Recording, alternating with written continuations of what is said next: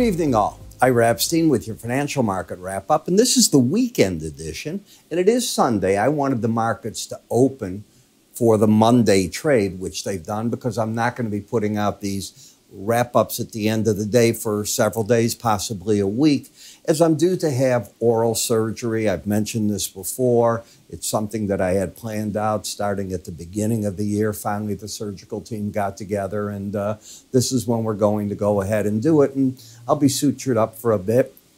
Hopefully, everything goes right, and I'll be back in a few days. Could be later this week. We'll see just what they uh, they come up with uh, on this. All right.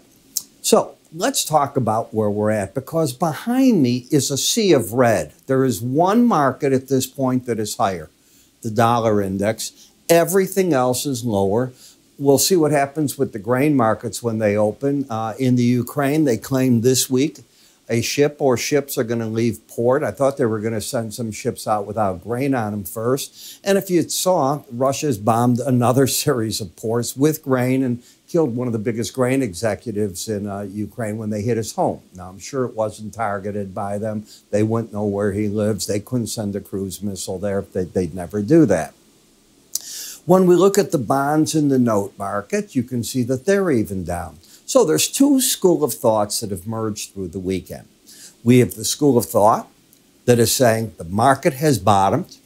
You are not going to make lower lows this year, and from this point on, we will crawl and crawl our way back to higher levels. You have the other school of thought that says this is a bear market rally. They can be severe when you get them, but nothing has changed. We haven't seen the inflation begin to trend down so far in the economic data. And even when it begins, it's got to show a trajectory to convince the Fed that they can take their foot off the pedal in terms of raising interest rates. This leaves us where I predicted we were going to be. I said after the last Fed rate hike, we have that void that comes in from the end of this month until September when it's all going to be data dependent and the market's going to be all over the board.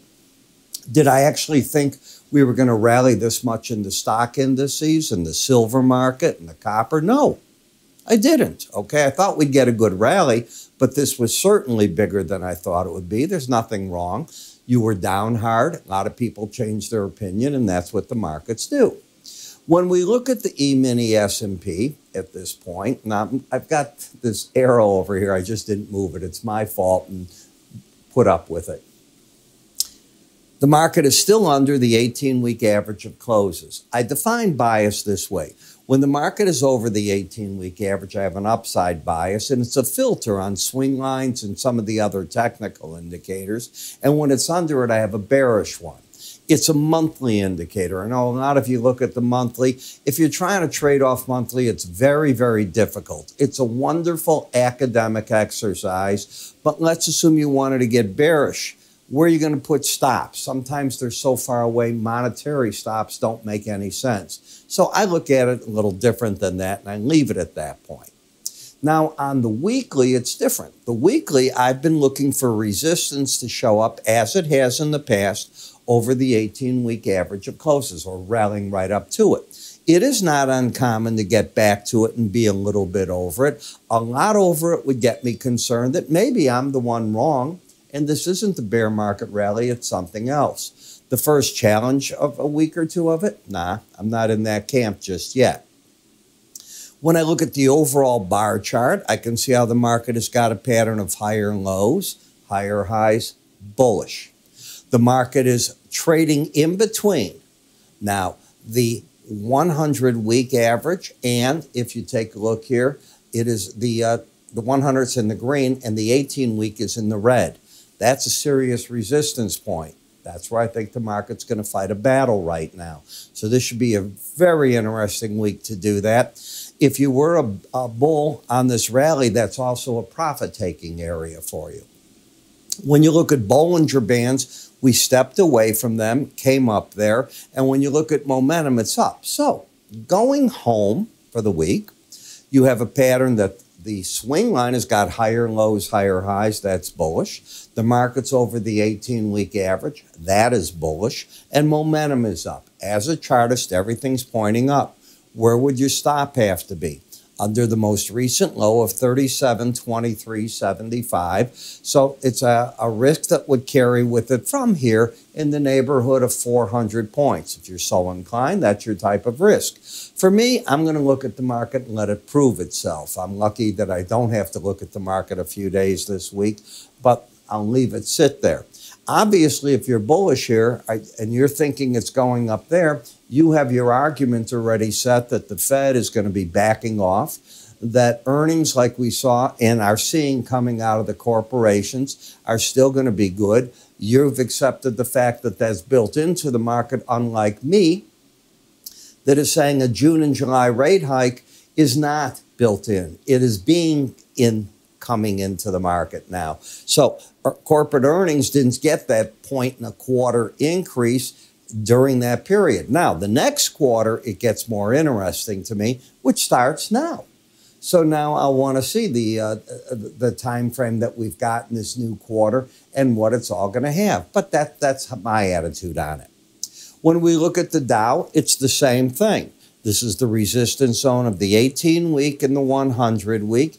You have a pattern higher lows, higher highs. If you're a buyer, let's assume you're a buyer at the 18 week average. Your objective is the 100, 32,901. You've been there, and your risk is all the way back to that low. Again, the risk reward seems odd to me. If you're buying the 18 week, your resistance is right above you in the 100, and you got to risk all the way down there. I'm not crazy about the chart pattern. In the NASDAQ, the trend is up. So, as a chartist, you have to throw what you think away and you have to say, what is the trend? So far, in these indices, higher lows, higher highs, momentum up, bias up, trend up until the market gets back underneath 11,389, potential target 13,711. The Russell is right with them. All four of the stock indices for the moment are in an uptrend. On breaks, all have support in the neighborhood of their 18 week moving average of closes. None are in overbought scenarios. In the VIX, I'm sorry, in the 30 year bonds, when I do the dailies, I go right to the VIX. Um, as you can see here, overbought. That's the first momentum. I doubt the market's going to be have the power here to get much over the uh, the 145 uh, 10 area. That's 145 1. I take that back. So first resistance right there. The market sitting here, trend up, bias up, momentum still up in the market. 10 year note, same thing. Resistance going to be right up here, coming into that upper Bollinger Band area again. I think you're going to get caught in the sideways action. Now, if you're of the opinion that the Fed is going to be coming to an end of interest rate hikes, well, I guess that would get you thinking that this market can keep right on going, right? Because the higher you go is what you want to do if you think interest rates are going to fall. So if you clear that, you're going to be telling me you're going to 129. I'm clearly not in your school of thought. But as a chartist, that is what the chart looks like. First resistance here, and if it clears it all there. In the dollar index, you have momentum that has now lost its embedded reading, which often leads to price and the 18 week average of closes trying to make a run at each other. You hit your upside targets back here. You can't say that in the uptrend you didn't get to your targets and you're getting a correction. But am I bearish? Well, first off, even as a chartist, there's nothing bearish on this. You could fall back to support, but the trend is not turned down. In the euro, you're still very much in a downtrend. You have lower highs, lower lows. If the market can get up here and clear 103.20, then you can make the argument higher lows, higher highs. Maybe you're going to make a run at 105. Are you there right now? No, you're still very much in the bear camp. In the Canadian dollar, now you've got to start watching the, uh, the banks that are coming up. You have the Bank of England coming up now for its rate decision this week. I think the Bank of India, Brazil's got it. Canada's going to get its jobs numbers like we are. In the US, we're already talking for Friday 250,000 new jobs and the unemployment rate being guessed at 3.6%. From my perspective, that gives the Fed all the ammunition it needs to just keep putting the pedal to the floor and saying, hey, we're going to fight this inflation. We've got great job market. We have people still getting plenty of jobs. We're seeing jobless claims still fall nicely. We've got unemployment for all purposes at levels we haven't seen. And inflation has been stubbornly high. How do you stop that? You stop it by dampening demand. You dampen demand by making money tight. That's what I think they're going to continue to do. But there's also the playoff. What about other banks as they do that? Does it mean the dollar stalls here? Hey, they're going to do too much in the US, but they're just getting going in Canada, the Brits, uh, Australia this week has its cut, uh, hike rather. They're talking 50 basis points. Do they go up against the dollar as this goes? That's the seesaw game you're in right now. Once this gets out of the way, then we go back to trading the chart action because when they're out of the way, we know the Fed doesn't do anything until September. And it seems to be a game of what the Fed does, I'm going to do. That seems to be what's going on, with the exception, of course, of the Bank of Japan, which the market has done their job for them. I'll show you that. Lower low, higher high, resistance fighting from the 18 to the 100 day average, but no trend in the market. In the end, as I said, this market has come nicely from the 72.08 level all the way up here into the 75. So the Bank of Japan didn't have to do anything. The market did its job for it. It made the yen stronger. You've lost your embedded reading. You're probably headed in towards the 76 level, and then we'll see what happens. There's been no policy change in words yet from the Bank of Japan. This is a technical play that ended this decline that began, honestly, all the way back up on this chart.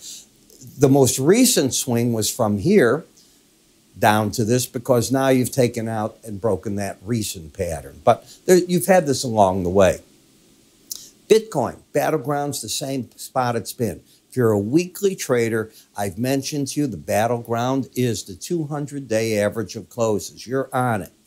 Momentum wise in the slow stochastic, you're trying to lose the embedded reading. Haven't quite done it yet in Brent versus WTI crude, well, you just went in a wild swing in this market from high to low. My gosh. But do remember, part of this has to do with how this weekly chart's done. You left the September and went into the October contract, and that's part of the differential. So let's take a look at the weekly contract. That's still bearish. Now, Libya today announced through its oil minister that they're all of a sudden producing 1.2 million barrels a day. I've seen nothing in the press until today about that. And this comes from their oil minister. So, very quietly, their production has been coming back up. It was what, running half of that. And suddenly, this is a much bigger number which helps ease some of this oil control uh, at strength. And that's why you are sitting here right now with the market, in my opinion, down this much. I've given you the reason why that's happening. You're down in the uh, WTI, not very much in sympathy. You know, their Brent's not going to affect us that way. RBOB gasoline getting a hit today, coming down about three cents right now. And the question is, does it take out this low or, or does it start forming a base low to go up into the Labor Day holiday? The trend is down, and all the market did, it had a pattern of lower highs, lower lows, rally up to the resistance. Last week I said the pros will probably sell right here, stops over that high, looking to see if the market can drop again. It's exactly what's been occurring on that chart. So you put it together.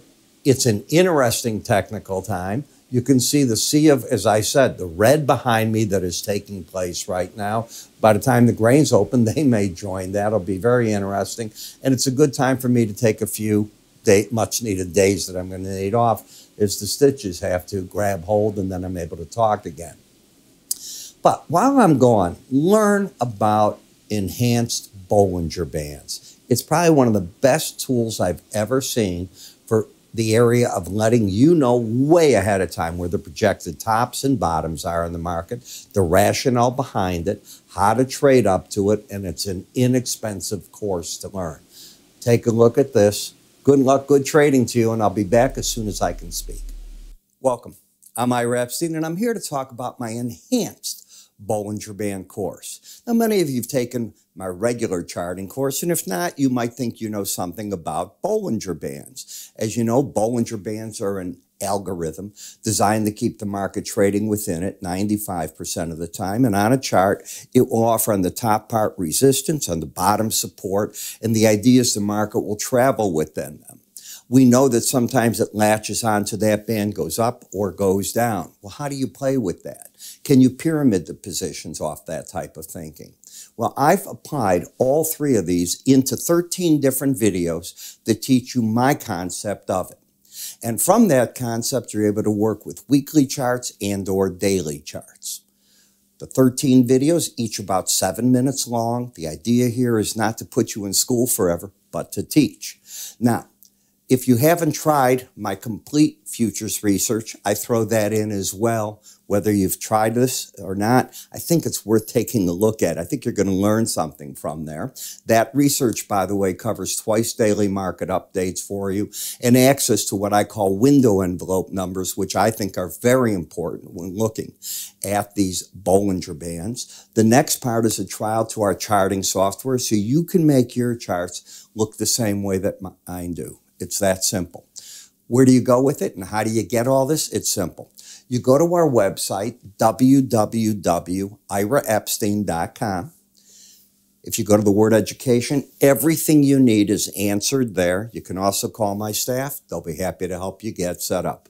I'm Ira Epstein on the road to your education.